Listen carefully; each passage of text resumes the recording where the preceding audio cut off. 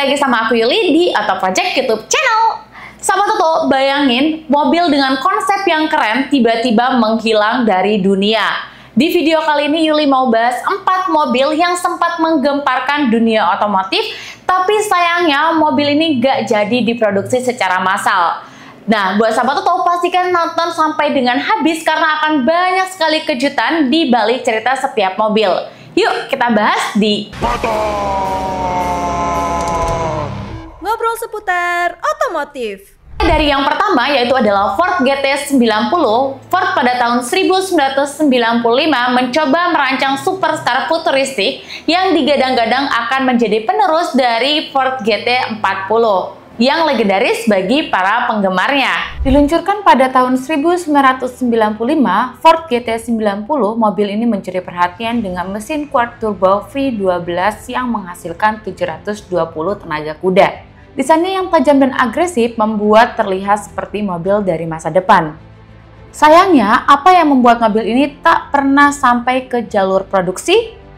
Ford akhirnya menarik diri dari proyek ini karena masalah biaya dan strategi bisnis yang berubah. Para penggemar Ford hanya bisa bermimpi tentang seperti apa jadinya jika GT90 pernah diproduksi secara massal. Jika Ford GT90 adalah supercar dari masa depan, maka mobil selanjutnya akan membawa kita ke dunia hybrid dan ramah lingkungan. Siap-siap untuk terkesima! Jaguar CX-75, sebuah konsep mobil hybrid yang mampu menghasilkan lebih dari 800 tenaga kuda. Dirancang untuk menghadirkan kecepatan supercar dengan teknologi ramah lingkungan, mobil ini memanfaatkan dua motor listrik dan bensin untuk mencapai performa yang luar biasa. Jaguar bahkan merancang untuk memproduksi CX-75 sebagai mobil masa depan. Tetapi, krisis ekonomi global mengubah segalanya Jaguar terpaksa menghentikan produksi massal meskipun beberapa unit CX-75 digunakan dalam film James Bond Spectre memberikan kita sekilas tentang betapa hebatnya mobil ini. Sayangnya, mobil ini akhirnya hanya menjadi bagian dari sejarah dan layar lebar.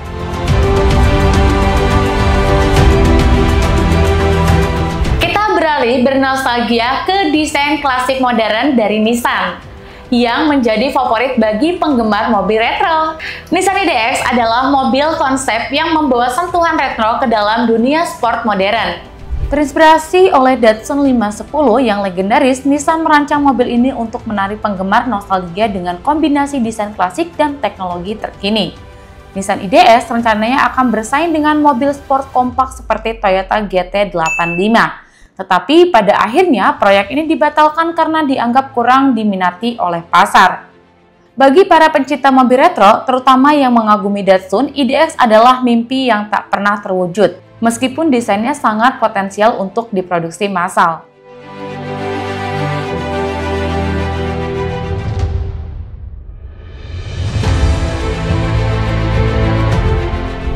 Kita punya Mazda Furai, mobil konsep yang dirancang untuk balapan dengan teknologi mesin rotari yang terkenal.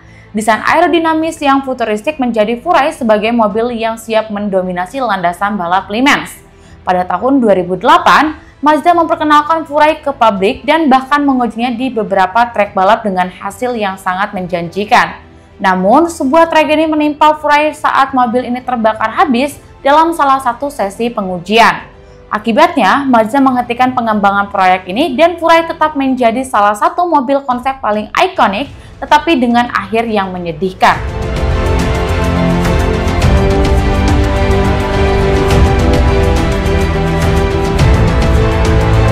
Jadi itulah tadi empat mobil konsep paling keren yang sayangnya tidak diproduksi secara massal nih sahabat Toto. Mobil-mobil ini membawa kita ke dunia inovasi dan juga mimpi yang hampir terwujud tapi akhirnya terhalang oleh berbagai faktor mulai dari faktor ekonomi hingga teknis. Apa pendapat kalian tentang mobil-mobil ini? Menurut pendapat kalian, mana yang paling mengejutkan? Buat sahabat Toto, jangan lupa untuk follow akun sosial media kita, TikTok dan Instagram @autoproject. Jangan lupa untuk like, comment, share, dan subscribe akun channel kita di Auto Project. Auto Project bikin mobil auto keren.